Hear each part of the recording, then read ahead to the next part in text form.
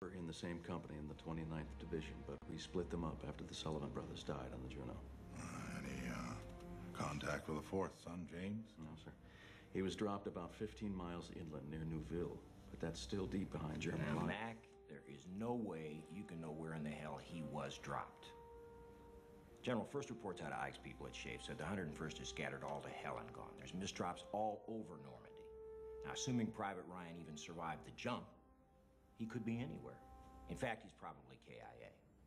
And frankly, sir, we go sending some sort of rescue mission, flat heading throughout swarms of German reinforcements all along our axis of advance. They're going to be KIA too.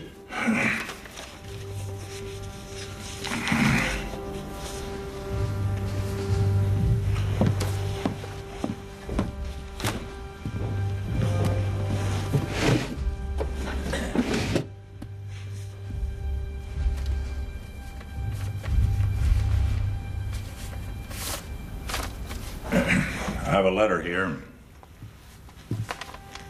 Written a long time ago to a Mrs. Bixby in Boston. Bear with me. Dear Madam, I have been shown in the files of the War Department a statement of the Adjutant General of Massachusetts that you are the mother of five sons who have died gloriously on the field of battle. I feel how weak and fruitless must be any words of mine that would attempt to beguile you from the grief of a loss so overwhelming.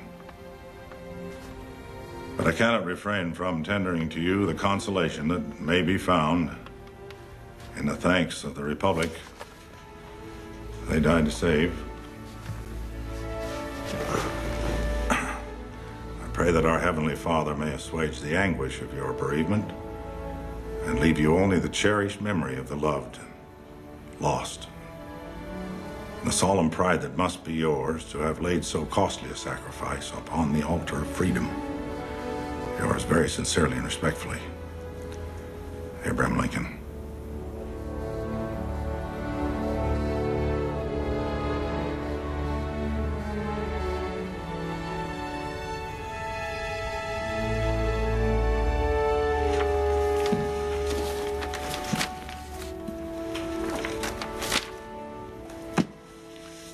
is alive. We are gonna send somebody to find him. And we are gonna get him the hell out of there. Yes, sir. Yes, sir.